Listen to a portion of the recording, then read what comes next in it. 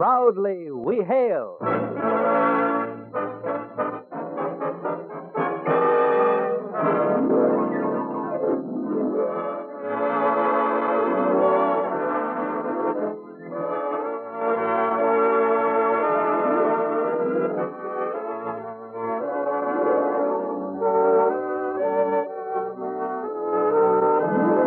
From New York City, where the American stage begins, here is another program with a cast of outstanding players.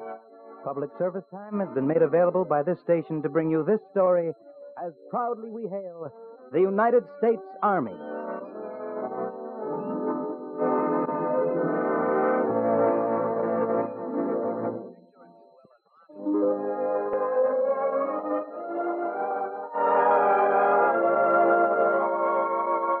Our story today is entitled The Four Footed Radar. This is the story of a combat team of Corporal Jeff Meadows, dog handler, and Mike, his scout dog, both members of the Fighting Eighth Army in Korea.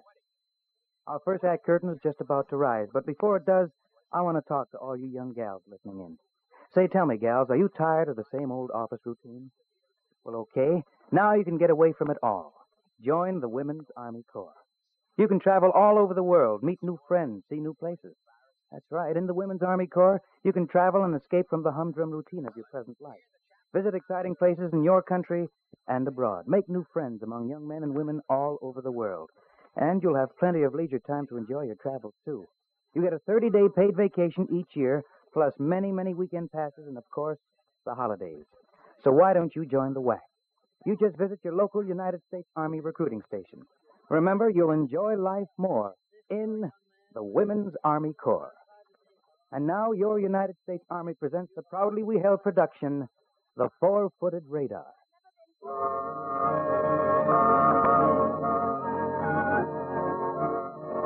Hi, I'm Jeff Meadows, uh, Corporal Jeff Meadows as of last week. I'm one half of an Army combat team. Six feet one, 180 pounds, 26 years old, if you're interested in statistics. My partner is 26 inches tall, weighs about 80 pounds, and is three years old. Name's Mike.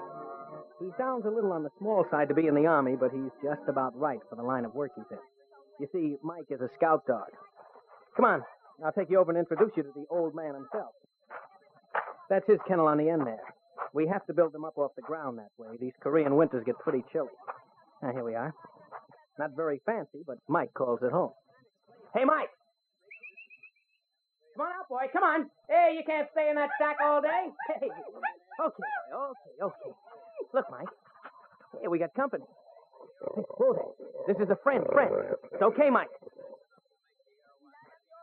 Sorry, we uh, train him to be one-man dogs. It's okay now, though. Go ahead, pet him. As long as I'm here and he knows you're a friend, it's all right. Now sit, Mike. Atta boy. I guess you're wondering if these dogs are as good as they say. Well, Mike has spotted enemy troops for us three, four hundred yards away with the right sort of breeze. Of course, it took a lot of training to reach that point. I'll never forget the day Mike and I got together. It was in the winter of 1951 back at Camp Carson. It's pretty cold in Colorado, too. But I remember it was warm inside the orientation hall where we got our first briefing. Good morning, men. I'm Sergeant Owen. Now, you'll be seeing a lot of me the next few weeks. We're going to train some dogs together, and in every phase of that training, I'm going to be breathing down your necks. We got plenty to do. You men will be trained right along with your dogs. We start out early tomorrow morning, so get a good night's rest. You'll need it. Because from here on in, you're going to be teachers and students at the same time. Good luck to all of you. Oh, he wasn't kidding either.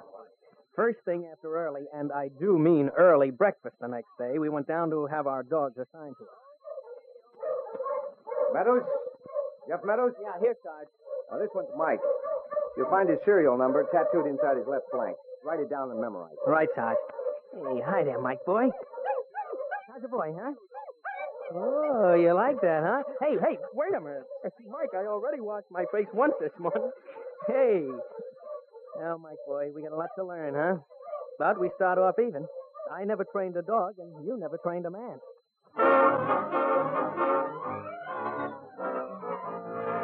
I didn't know how right I was when I said we had a lot to learn. First, there was three weeks of basic training. Mike learned his most important single lesson in those three weeks obedience. Now, today, we start teaching the dogs to heel. By that, I mean to walk to your left and a little behind you, so that his head is even with your left knee. Now, the voice command is heel, together with a pull on the leash to show him what you want. Now, you walk in a circle to your left. You ready? Go. Okay now, Mike boy. You heard the Sarge. Heel. Heel. Hey, that's better. No, no, not too fast, Mike. That's it. Heel.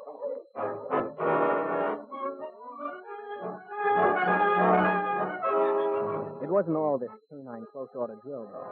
There were realistic battle indoctrination courses, like, for instance, the infiltration course. You and your dog crawl on your belly, and a curtain of live machine gun bullets makes a nasty snapping sound just above your head. A dog's hearing is much keener than a man, so the noise is just that much worse for him. No, Mike. No, Mike. Careful, boy. Careful. Stay down, boy. Down. Now crawl. Come on. Atta boy. Some of the dogs couldn't take the noise and confusion. They were weeded out on the spot for non-combat type duty. But Mike made it without any trouble. We were really beginning to work as a team. When basic training was over, the names of the dogs assigned for different types of duty came out. Sentry dogs, messenger dogs. Uh, Mike's name was on the list marked scout dogs. Okay, men, let's settle down now. All right, now. Every man in this group is handler of a dog that's been qualified for scout dog training. Now, that means 12 solid weeks of hard work. The dogs have shown a talent for the work, but they can't do it until they're trained to do it. So it's going to put some sweat on you fellas. Now, as you know, scout dogs are chosen for alertness, obedience, and their sense of smell and hearing. We're going to polish those senses until they can spot a strange man by smell alone at 300 yards. That's just part of it. He's also got to tell you, his handler, where that man is. Now, that means you'll have to learn to understand what the dog is saying. We call it reading the dog. And you'll learn it before we're through. A lot of lives may depend on it someday, including your own.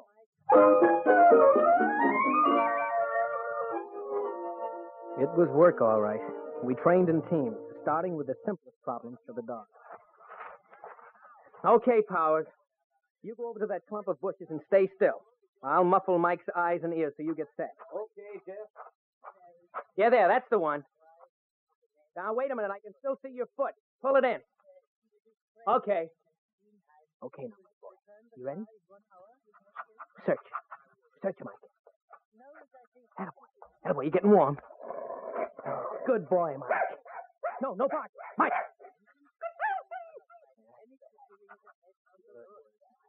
Good dog.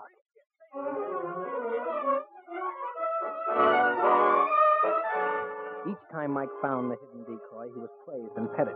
He learned to associate finding the decoy with praise, and he began to enjoy the work. He'd get all excited like a bird dog on a hunt. Only he had to do his hunting in absolute silence, and he had to keep telling me what was going on each step of the way. And believe me, anybody says a dog can't talk. Never worked with a scout dog. Yep, we still had things to learn, Mike and I, but we learned them. And we learned as a team. He sharpened his sense of smell, and I sharpened my reading eye. I got so that the set of his shoulder could be like a sign that read, Careful, they passed this way. Or that the lift of his head was like a voice saying, There they are, 200 yards to the right front. Yes. You can learn to read a dog that close, and at distances up to 500 yards with the right kind of breeze. And you learn it well, too, because you know they don't allow you but one mistake when you put what you've learned here into practice in one of those Korean valleys. Yep, we sure had a time back in the early days, didn't we, Mike? Well, keeps surprising you how these dogs understand, huh? Now, Michael whine like he just did when we were playing off duty. But put his patrol harness on him and you couldn't get a peep out of him. It has to be that way, too. On night patrol, you can be quiet or dinner. Take your pick. You know, it's funny to anyone who knows the dogs that anybody could lack confidence in them. But you do run across people that have to be shown. The first one I ran into like that was on a real tricky patrol, our first. We got a call for a scout dog team from an outfit up in the Big Dipper sector. I'd known we were next in line for a mission, but it always feels a little funny, starting out for the north. We went by jeep. We arrived at the company area in one piece, a little before chow time. Well, it's as far as I go, Bud. Man folks over there. Right. Come on, Mike. Come on. Thanks for the ride. That's a nice roller coaster you've got there. so long. so long. Is this the Charlie Company CP? Right. You're the dog team of the 26th. huh? Yeah. Glad to see you. My name's Green. First sergeant. Hi, Sarge. My name's Meadows, and this is Mike. Uh, take a seat. Leader of the patrol you're going out with will be here in a minute. Meantime, maybe you want to know something about your mission for the night. I'd appreciate it, believe me. First time out? Well, you're in good company. You're going with a hand-picked patrol, best we got. Sort of a special deal. What's the story, Sarge? Well, we've been having trouble with Chinese ambushes this last month or so. A couple of times, patrols have walked right into a ring of fire and taken a beating. Mm-hmm. Yeah, there's some kind of build-up going on across the valley. We want to know about it. So tonight you lead a patrol to try to... Oh, oh, this will be Pike now. Sergeant Jim Pike. He'll lead the patrol. In a minute, Oliver. Go on down get the rest of the men shaped up. Oh, good enough. They'll be standing tall. Right. Hey, Green. Where's that bird dog escort? This is Corporal Meadows here. The dog there's named Mike. Mike. Yeah? How are you making out, Doc? Hold it, Sarge. Hold it. He doesn't know you. Just a minute. Sit, Mike. Sit. Now look, this man's friend. Friend Mike. Yeah. That's okay now. You can pet him if you want to. Uh-huh. That's all right. As long as he knows his business, he doesn't have to be a lapdog. Well, we only got a few hours before we jump off. Suppose we go down and get acquainted with the men, huh? A good idea, Sarge. Between now and tonight, Mike's got a lot of memorizing to do. Do you mean? Well, he's got to memorize the scent of every man in the patrol. I gotta see. Well, stick around, Sarge. You'll see a lot more than that. Okay, Mike boy. Let's go. Heel.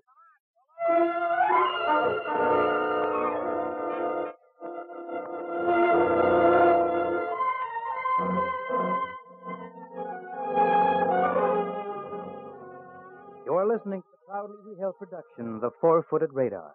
And we will return for the second act after I ask this question. You know, I bet if I could ask each individual person listening in what he or she really wanted out of life, a great majority of the answers could be boiled down to just one word. That one word is happiness.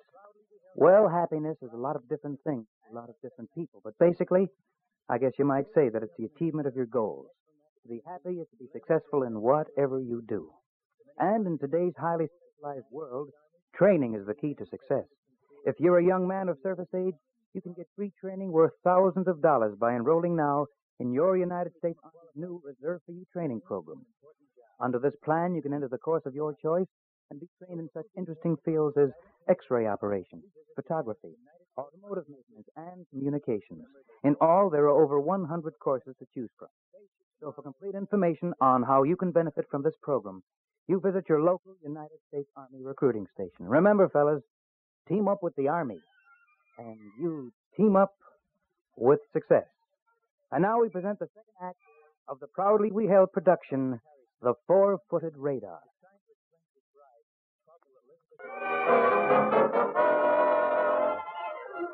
It took a little while to sink in.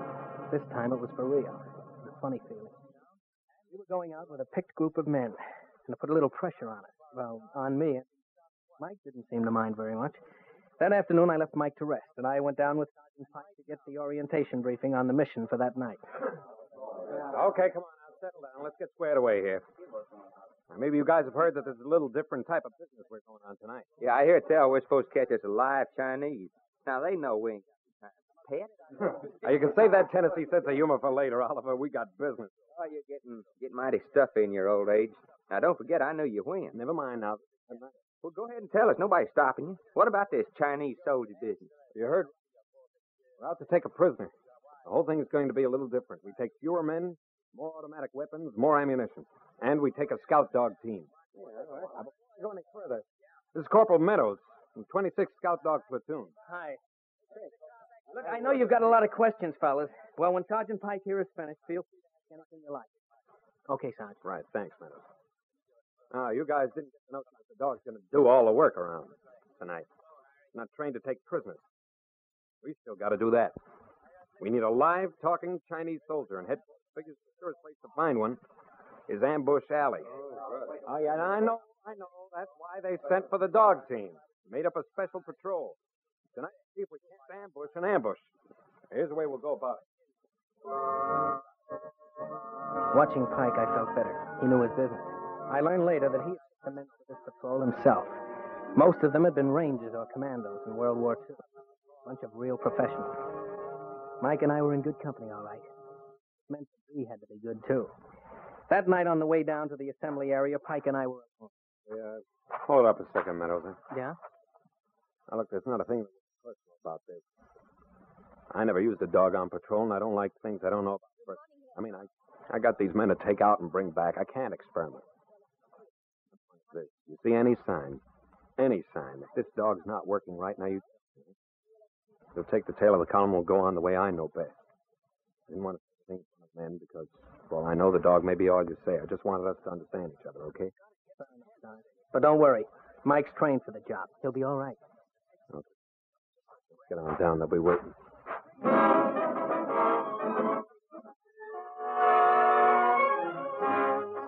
It could have been a lot. Pike would have to be shown. When we got to the assembly area, he was all busy, like inside. This man didn't fool around. Okay, okay. No. Everybody check their equipment. I want you to use the buddy system. Man on each side of you. That way every man gets double checked. Oliver, you make sure we got everything. Extra ammo, all that. And every man will pet this dog one at a time. Get him used to your smell. No hurry, we got. Oh, yeah. Get some black on your faces. It's going to be a moon. Okay, Meadows. We went around, Mike and I, and by the time we were ready to move out, the scent of every man in the patrol filed away for reference. From here on in, that didn't match up with one of those familiar scents would be the enemy. Time to earn your money. Move single file through the barbed wire. Engineer's got tapes laid out for us to follow through our minefield. I'll take the point till we get past the line team on the rear. If you got any questions, ask them now. Hey, move. We stepped off into the black, a little nervous. Mike was excited, eager, just another field problem to him. We followed the dim line of the engineer's tape, which kept us from stepping on sudden death. Then on the far side, our. The engineers were already starting to take up the tape behind us. It was time for Mike. I was glad when the moon slipped behind a layer of clouds, the dark of the because we didn't need to see much. We had Mike's nose and eyes to follow. Okay, Sarge. I guess we're ready. You remember the route? Okay. Oliver, pass the word back. Stay in contact. Right. Pike says no, but stay close. Pass it back. Now we're really in. This is what all the training was for. A patrol that means business. And the only thing between us and the Chinese ambush knows of that big gray shadow moving in front of me, sending me a message along his heart. A message that says, nothing yet. Nothing yet. The moon stays hidden. Ground conditions are good. And there's a slight breeze blowing toward us. Couldn't ask for anything better. With Mike leading, we run farther than a patrol ordinarily could in the dark. And that's the trouble. Listen, we're nearly a mile past the place where we should have spotted something I don't like. And past any scent or Mike would have picked it up. And the wind's in our favor. No chance he... If he had, we'd have been ambushed before this. Yeah, that's right, too. Want to try doubling back? No. No, we came after a prisoner.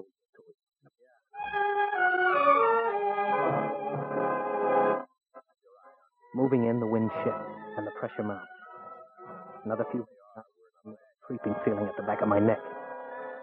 There hasn't been a night bird in minutes. Then, as the wind comes around again, Mike stiffens with excitement. Hold it, Sarge! What's up? Your Chinese are up ahead. A little over a hundred yards, the way the wind is. You sure about this now? Straddling the draw up there. I'd suggest we move around to the right, get our own ambush according to your plan. All right, we'll try it, but you better be right. I'm the guy on the point with no weapon, remember? Even more silently now. A handful of men following the keen nose and doubts begin to come. Suppose I was wrong. A hundred different possibilities of disaster in half a minute. But you go on. Hey, hold it a second. I can't see him. Me neither. But this is as close as we dare go until we do. There. I still don't see. Okay, Meadows, the dog hit it right on the nose. Oh. What you found, Cupcake? Found that pet you were talking about, and I think. What's the story? See that clump of bushes at the ridge line? I see it. Well, right next to it, you'll find a Chinese. Look around when the moon came out a minute ago. Now, he'd ought to know better than that. We got that strangle cord. Swim? Okay, I'll cover you.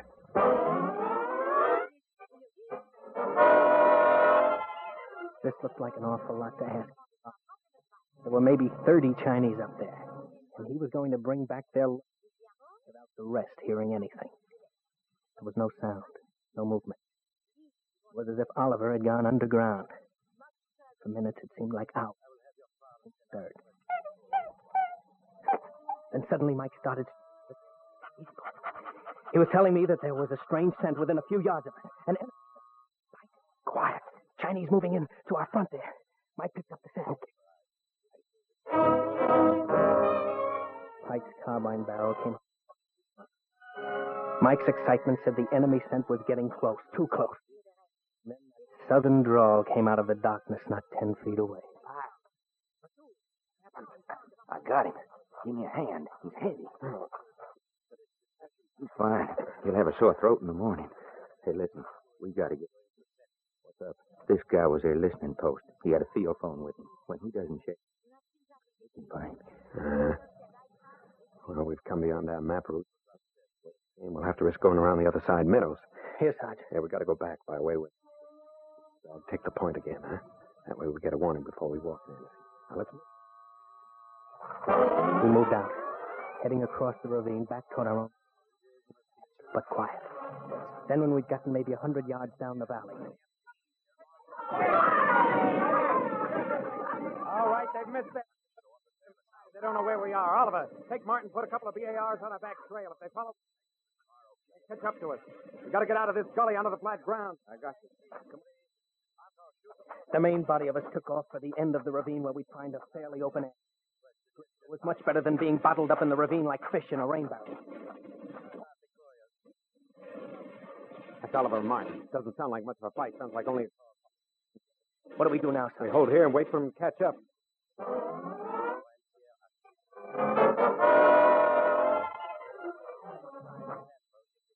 Can answer in English. It's okay, Cupcake. Hold your fire. Oh. I don't like it. It's this setup is too good. You know that. It don't smell right. If we open fire, they they stop right where they were. Well, that's why I set you there. They stopped too easy. Yeah, maybe. Didn't sound. It's like they just wanted to see where we were, and they didn't push it. Follow, but just to locate us. They got a field phone.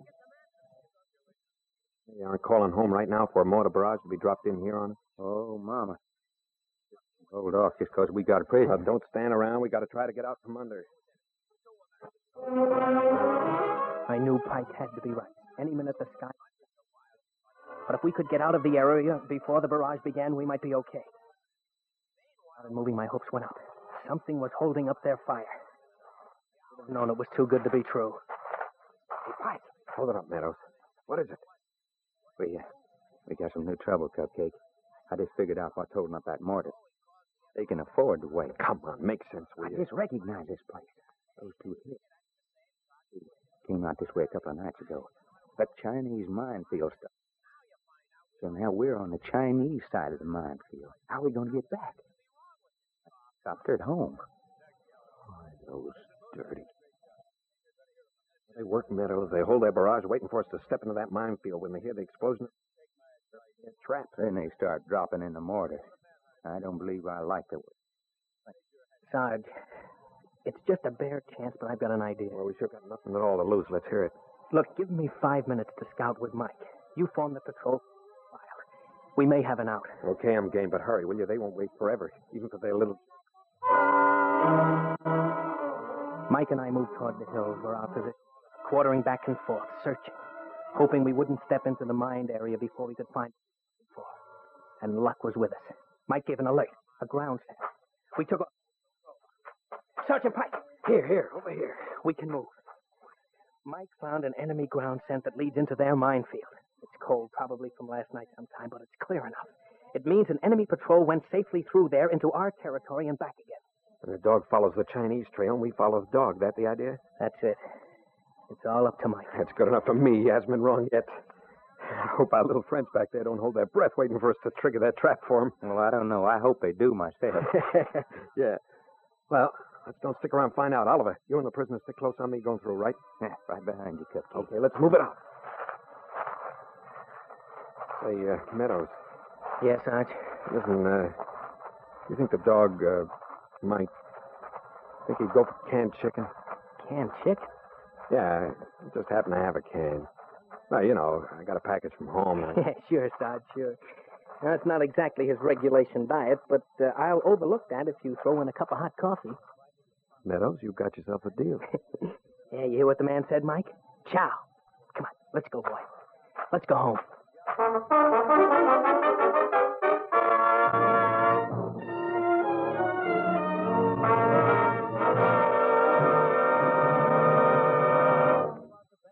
I've always found it to be true that a man with a good eye to the future makes a good soldier.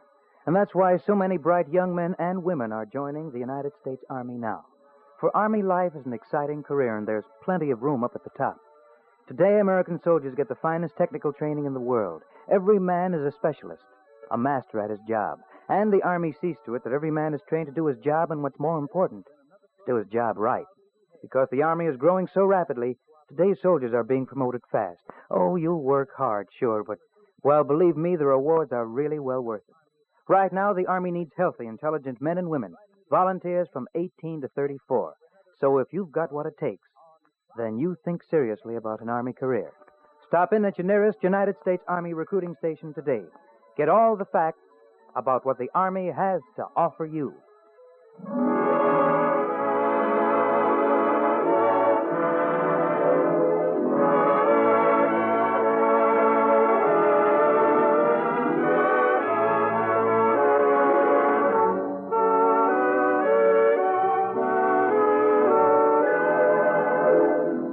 Been another program on Proudly We Hail, presented transcribed in cooperation with this radio station.